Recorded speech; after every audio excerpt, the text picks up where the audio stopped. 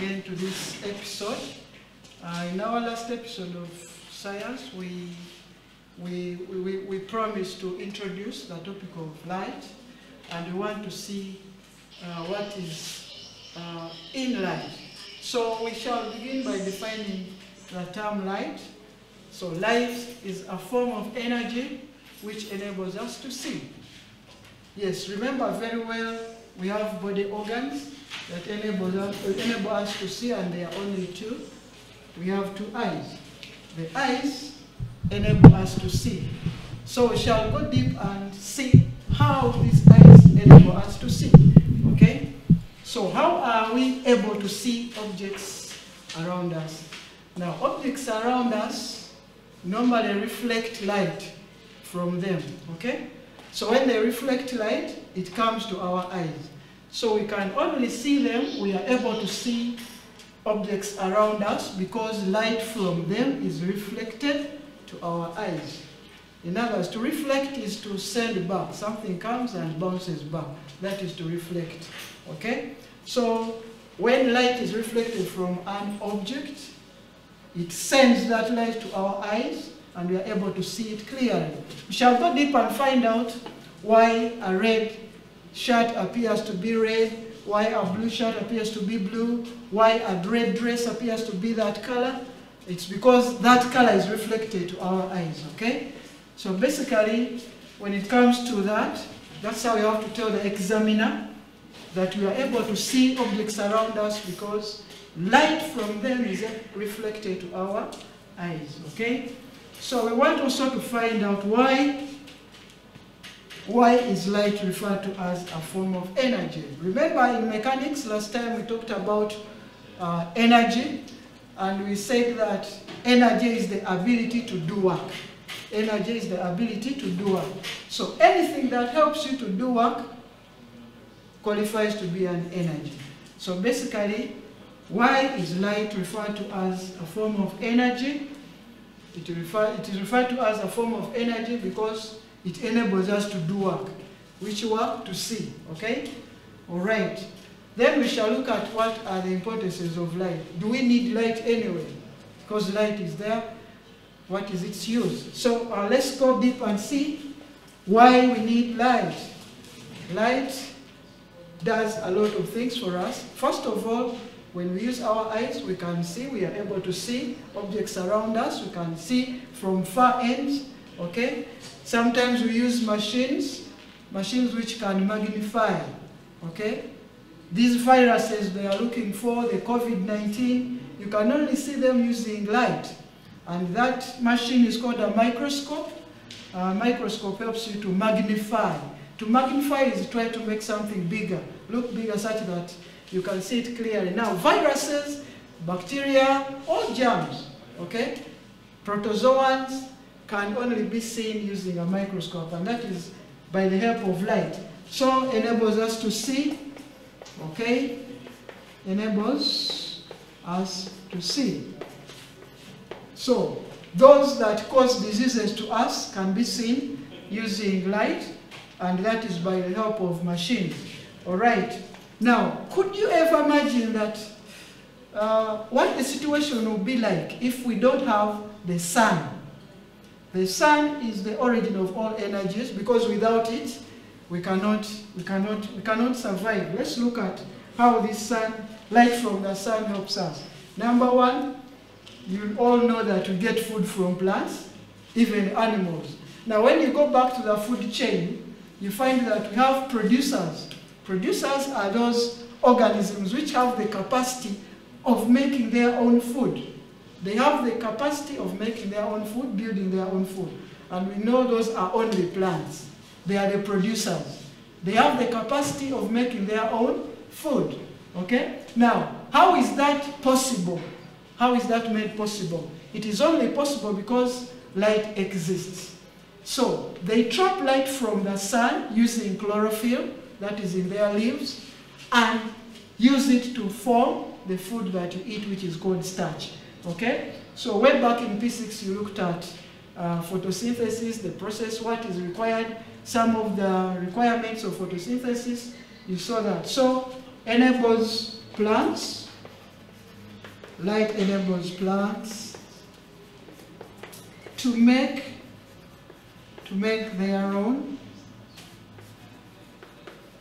their own food. And you know the process is photosynthesis. Now, without light, definitely plants cannot make food. Now, could you imagine plants are not making food? The animals you eat, remember, feed on plants. We also feed on plants. But let's say plants are not there and we are supposed to feed on animals. How shall we feed on animals when animals don't have food? So it's like a chain, okay? It's a food chain. Plants have to first of all make their food, then we consume the plants, we consume the food made by plants, or we consume the animals which have been feeding on, on plants, okay? So besides making food, um, our skins are able to make vitamin D. So our skin makes vitamin D by help of the sun, okay? It converts that light energy and uses it to make vitamin D. So you normally take pictures, photographs, um, using cameras. Right now a camera, I'm in front of a camera and it is using light. So light is used for photography. Light is used for photography. Photography. Okay? Photography that is taking pictures and also uh, making videos. You use those machines, you know, the cameras, the video cameras, okay? Those ones can help us to form uh, some photographs. So we use artificial sources of light, uh, especially at the streets. You normally see they are the ones that control traffic, okay?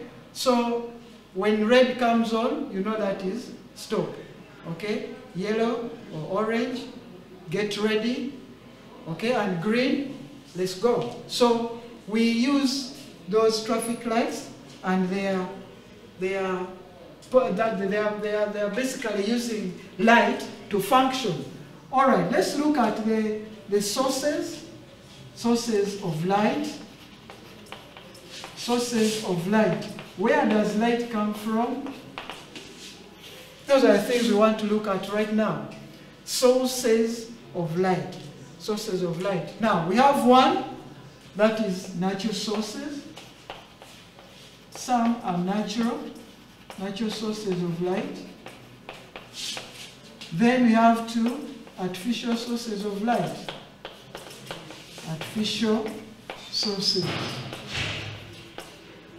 Now, what are those natural sources of light? You look at these words natural and artificial, of course, you, what comes to your mind is that natural simply means God made. Okay? No human intervention there. Then artificial, simply man made. Man does this. So let's look at the natural sources of light. What are they? Okay, natural sources of light, these are sources of light. Natural sources of light.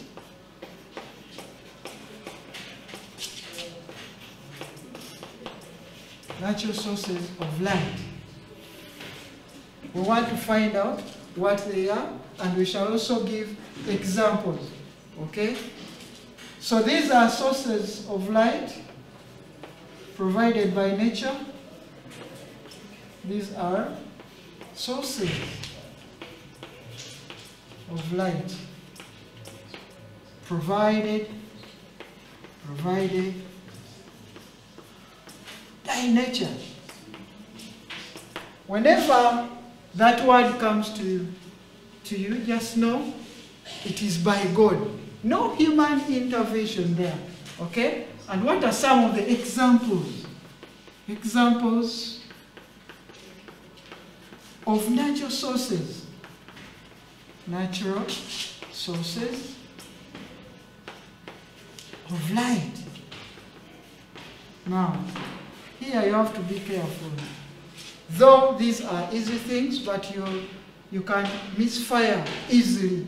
So you have the sun, the star, erupting volcanoes, This sun here is very important. We have stars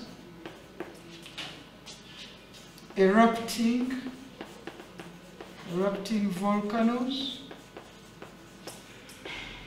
Then we have glowworms. I think most of you have ever watched glowworms, especially in the dark at night.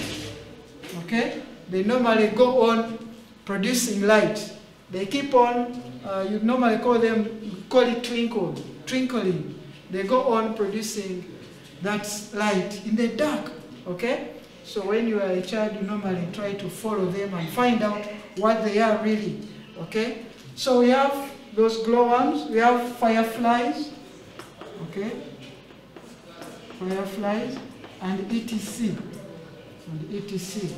Those are some of the examples of natural sources of light. Natural sources of light. So, some of these lights are very hot. They produce light when they are hot. And some are not hot. For example, these are animals. Okay? You don't expect them to be hot. The sun as well is not hot. Okay? We have others like comets. You normally see them. You call them shooting stars, I think. Uh, some, that's the common name that's normally used. Okay? Now, when you look at the sun, you look at erupting volcanoes. Those ones produce light when they are hot. They produce light when they are hot. Some are not hot, like fireflies, and then glowworms. Now, those which produce light when they are hot are called incandescent objects. We shall see that as we go on. Okay? So let's look at artificial sources of light. Artificial, artificial sources of light. This is where a man comes in.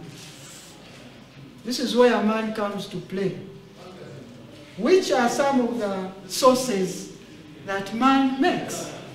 At least you have seen uh, uh, at your home, you have this. You have light, you have light bulbs, you use candles. Some of you use candles. So those are some of the artificial sources of light. So we can list some of them because um, we need to write the examples here. For example, we have the lamps. Sometimes this one is called a lantern lamp. Okay? The lamps. We have the light bulb. The light bulb. Then fire. Fire is made by man. You all know that very well. You can talk of hot charcoal. Okay? Hot charcoal. Hot charcoal. You ask me, eh, we don't use charcoal to see. But when charcoal burns, you can see that there is some light being, being produced, okay? So uh, those are some of the examples of artificial sources of light. All right, now, objects, uh, examples of artificial sources of light, you all know that. You can think about others that man can make. Yeah? There are those which are called lighters. Uh, when you are uh, you're lighting maybe a cigarette, you've seen those people who, you, uh, who, who smoke cigarettes. They have a lighter. That one can produce light. Okay? Then the candle, how can we forget the candle? The mighty candle.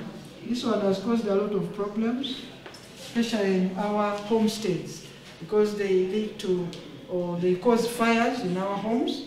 So basically, those are some of the examples of artificial sources of light. So artificial sources, as we said, they are made by people or made by man, man-made, in other words. Now, let's go ahead and look at these terms, luminous, luminous objects, luminous objects, and also non-luminous objects, non-luminous objects. So we need to find out what luminous objects are and what non-luminous objects are. So if we start with luminous, luminous objects, let's see what they are. What do they really mean when they talk of luminous objects? Okay? So luminous objects are objects that produce their own light. These are objects which produce their own objects which produce produce their own their own light. Produce their own light. So when you go back to the sources of light, you've seen some which produce their own light, okay? But basically, or most importantly, the sun comes into play. The sun, the stars, the volcanoes, lamps, torches, okay? Iggy, we have the sun, we have the stars, erupting volcanoes, erupting volcanoes. Okay? We have, that can be a comma. We have torches. Now here you find that they have artificial and also natural. We have torches, we have the lamps. We have the lamps. We have light bulbs, light bulbs, and etc. Those are some of the sources, I mean the luminous, luminous sources of light, luminous objects. They are also called direct sources of light. Okay? Now what of the non-luminous? Non-luminous objects. Non-luminous. It's the opposite of luminous non-luminous objects. All right. So these are objects which do not have the capacity of producing their own light. These simply are objects which do not which do not produce produce their own light their own light they never produce their own light what some of them do they get light from other objects and then reflect that light now by that they appear to be sources of light but in actual sense they are not sources of light because they are producing light from other objects. They are just reflecting it. Comes from some object, then it reflects it. Look at a mirror. And you press a mirror, you put it under the sun, you see that it will produce some light somewhere. Now, that light that has been produced somewhere has been reflected from the mirror, then to the wall maybe, or to your face, or to your friend, or anything else, okay? Right now, we shall not call that a luminous object, it is a non-luminous object. Let's look at the moon, okay? Examples. Examples. We have plane mirrors. This plane mirror, they don't produce their own light. They only reflect light from other sources, especially major sources of light, okay? Look at planet Earth or other planets. Okay, look at the moon. The moon is one of the celestial objects found in space there. It normally gives light at night. So have you ever wondered, is the moon burning like the sun burns? Where does it get its own light? In other words, it reflects light from the sun.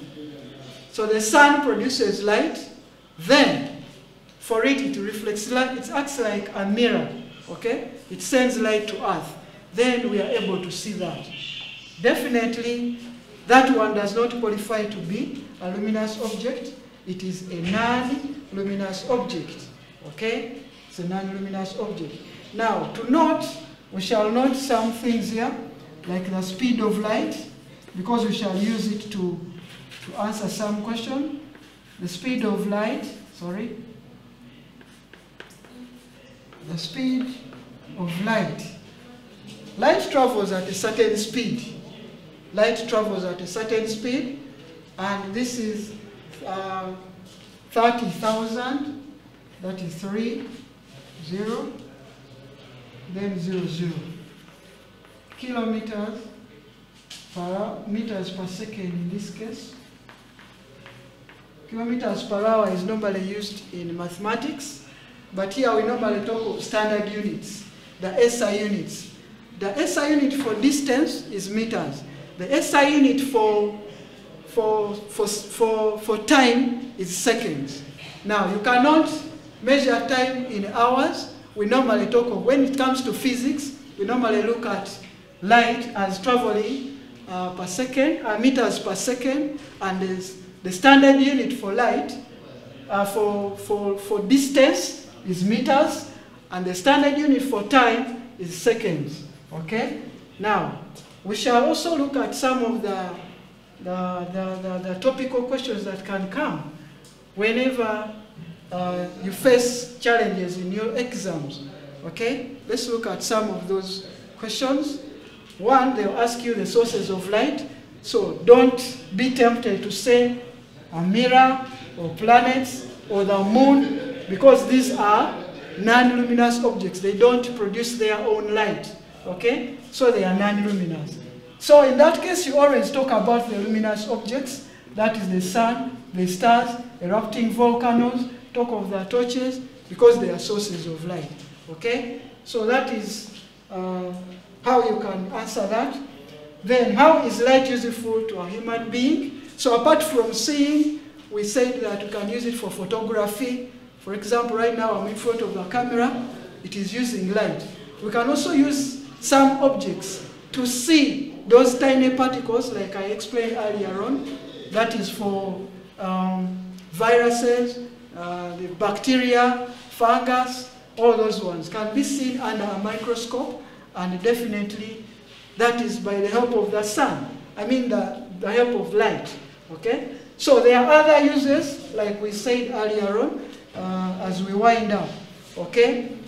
So examples of non-luminous objects is a question they can always ask you. They can also ask you to name the, the luminous objects. And lastly, this is the question that is normally asked. Why, why is the moon, why is the moon referred, referred to as a non-luminous object? A non-luminous object. So it is referred to as a non-luminous object because it does not produce its own light, but reflects light from the sun. Okay? That is one way uh, how you can answer such a question. Yes, I would like to end our lesson here and don't forget to subscribe to our YouTube channel so that you can receive most of the videos that we upload every time you come and visit us. Thank you for watching. I wish you all the best. Please stay safe.